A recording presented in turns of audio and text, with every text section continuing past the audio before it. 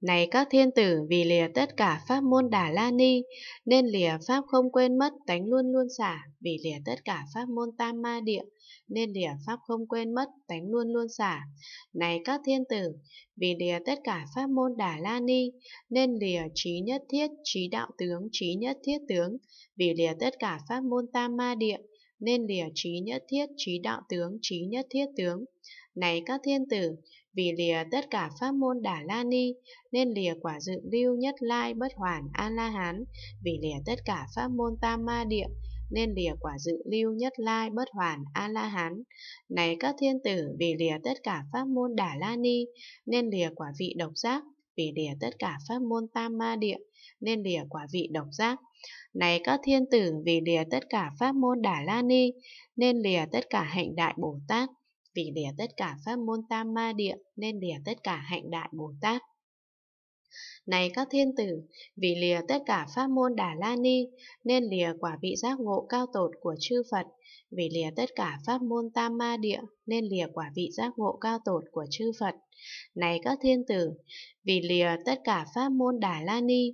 nên lìa trí nhất thiết trí, vì lìa tất cả pháp môn tam ma địa nên lìa trí nhất thiết trí. Lại nữa các thiên tử, vì lìa quả dự lưu nên lìa bố thí tịnh giới an nhẫn tinh tấn tịnh lự bát nhã ba la mật đa, vì lìa quả nhất lai bất hoàn a la hán nên lìa bố thí tịnh giới an nhẫn tinh tấn tịnh lự bát nhã ba la mật đa. Này các thiên tử,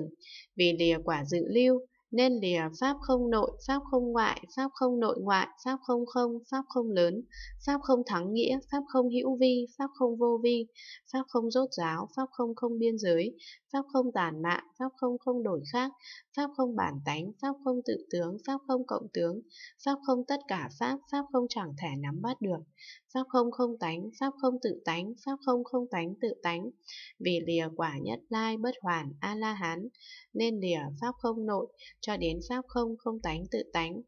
Này các thiên tử, vì lìa quả dự lưu, nên lìa chân như pháp giới pháp tánh, tánh chẳng hư vọng, tánh chẳng đổi khác, tánh bình đẳng, tánh ly sanh, pháp định, pháp trụ, thật tế, cảnh giới hư không, cảnh giới bất tư nghì. Vì lìa quả nhất lai, bất hoàn, A-la-hán, nên lìa chân như cho đến cảnh giới bất tư nghì. Này các thiên tử, vì lìa quả dự lưu, nên lìa thánh đế khổ tập diệt đạo, vì lìa quả nhất lai bất hoàn A-la-hán, nên lìa thánh đế khổ tập diệt đạo. Này các thiên tử, vì lìa quả dự lưu, nên lìa bốn tịnh lự, bốn vô lượng, bốn định vô sắc, vì lìa quả nhất lai bất hoàn A-la-hán, nên lìa bốn tịnh lự, bốn vô lượng, bốn định vô sắc. Này các thiên tử, vì lìa quả dự lưu, nên lìa tám giải thoát, tám thắng xứ, chín định thứ đại, mười biến xứ, vì lìa quả nhất lai bất hoàn A-la-hán, nên lìa tám giải thoát, tám thắng xứ, chín định thứ đại, mười biến xứ.